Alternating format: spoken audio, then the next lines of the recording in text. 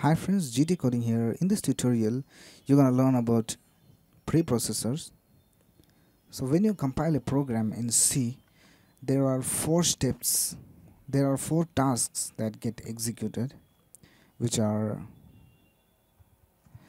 preprocessing, then compilation, then assembly, and linking. So these four tasks get completed when you compile a C program.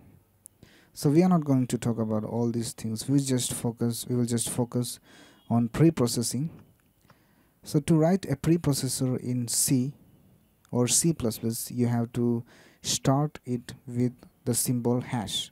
You may have seen in all our C programs where we start our program by writing hash include and some file here if you write hash include and write the name of a header file over here what it does is as the name suggests it includes the header file stdio.h into your source file.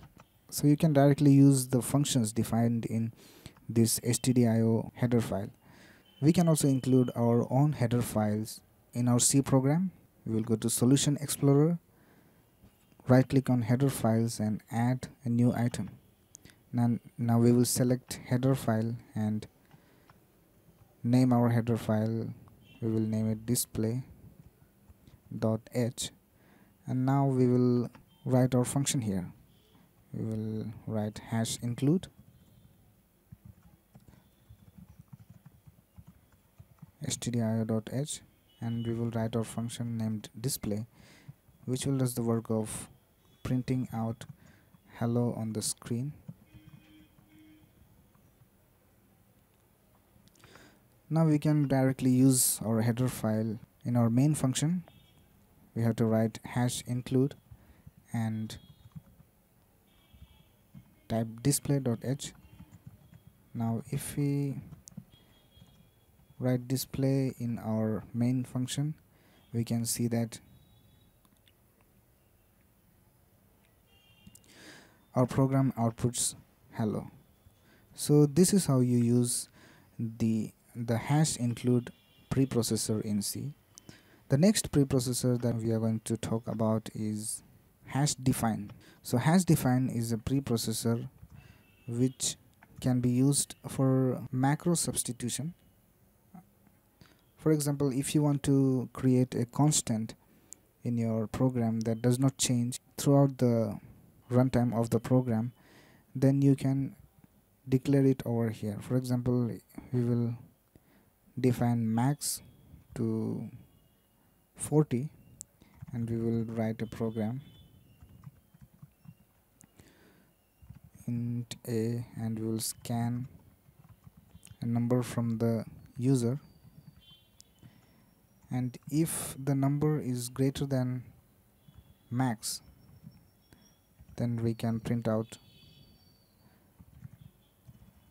your number is greater than max or else print out. Your number is lesser than or equal to max. So what happens is here if we provide a number that is greater than 40 it will display your number is greater and if we provide a number lesser than max then it will print out your number is lesser than or equal to max.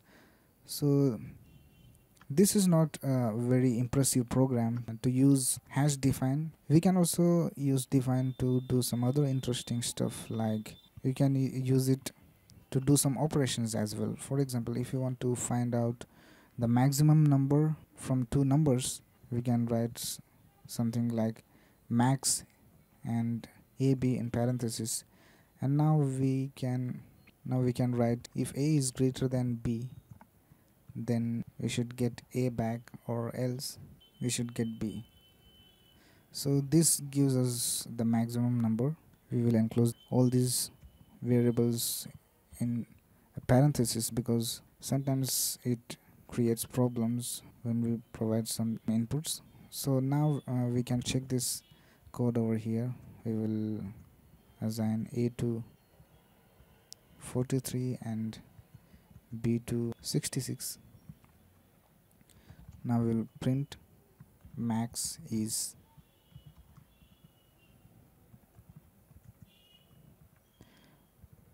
now we will write max a b now this will give us the maximum of both these values. Let's check this out.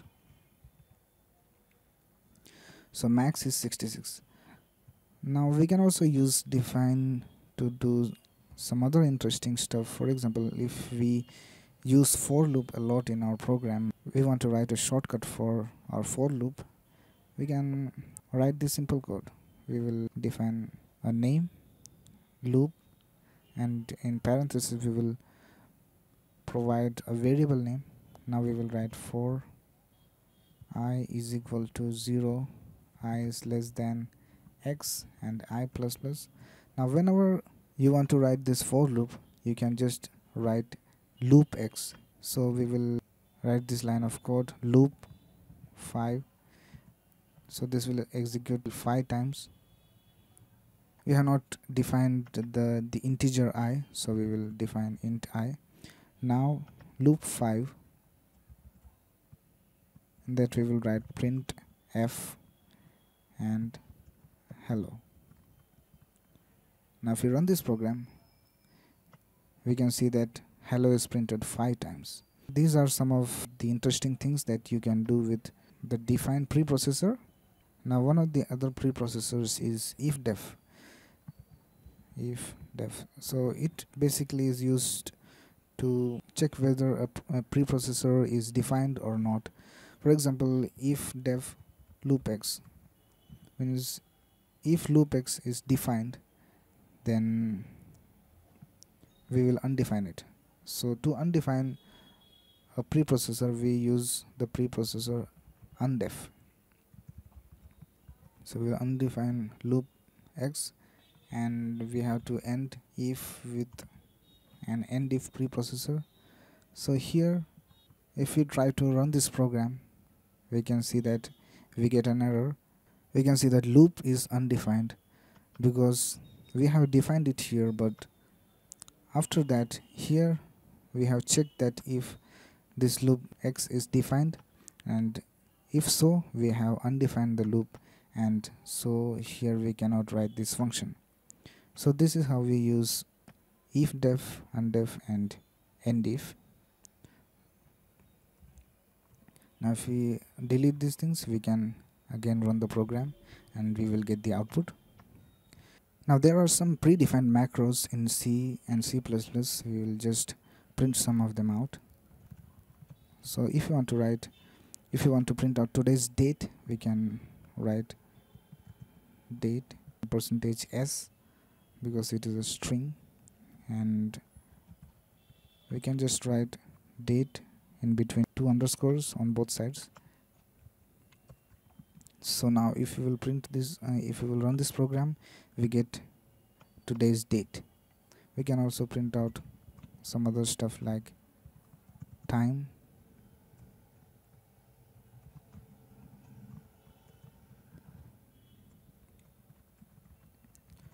printf file. That is the current file that we are using. So these are some of the macros predefined in C.